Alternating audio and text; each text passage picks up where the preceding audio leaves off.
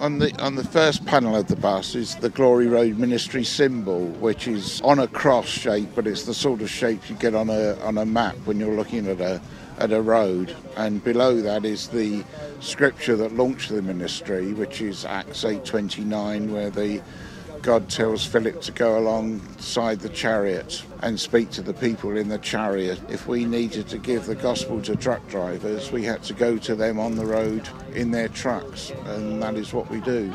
Picture on the, the rear panel of the vehicle just shows a, a truck going along, which represents drivers, um, the, the 500,000 drivers there are in the UK, uh, just going about their, their daily job.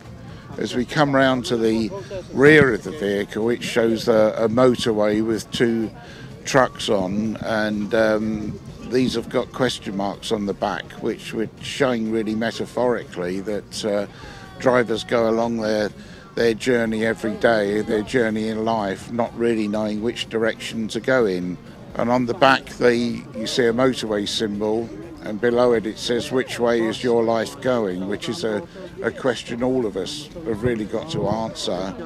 And the motorway sign gives you the options of hard slog nowhere easy street or dead end. And these are the options you've got really if you haven't got jesus in your life. As you saw on the on the back of the bus the two lorries with a question mark on were going towards the the road which actually comes around the corner of the bus and uh, goes onto a road which is a suspension bridge through the clouds.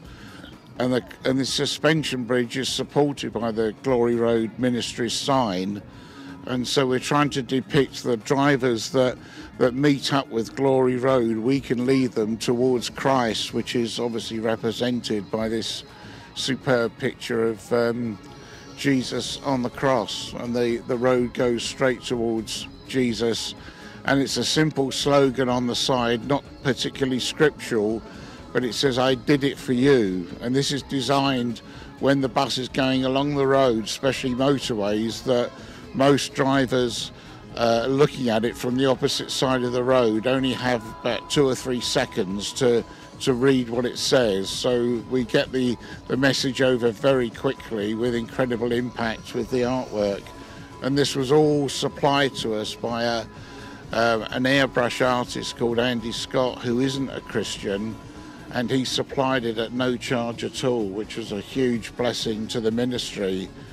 And this sort of artwork commercially on the trucks around us would be eight to ten thousand pounds to actually have it put on. So it's a, a tremendous blessing to the ministry.